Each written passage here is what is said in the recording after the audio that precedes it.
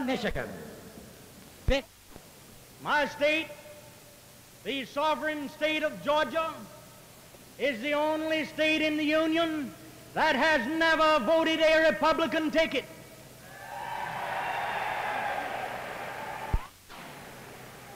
I am here to tell you this evening or this early morning that the sovereign state of Georgia has laws on her statute books that contravene this resolution.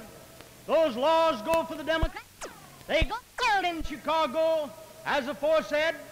The Democratic Party of Georgia does not limit, restrict, or impair the sovereignty of the Democratic Party of the state of Georgia or the freedom of action of any member of said body, and that the delegate so selected and certified to said convention shall not have the power to limit, restrict, or impair the sovereignty or freedom of action of the Democratic Party of Georgia or any of its inherits.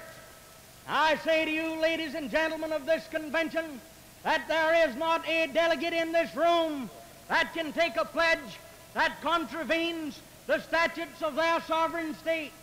There is not a delegate in this room that can take a pledge that contravenes a resolution of the democratic organization of their sovereign state.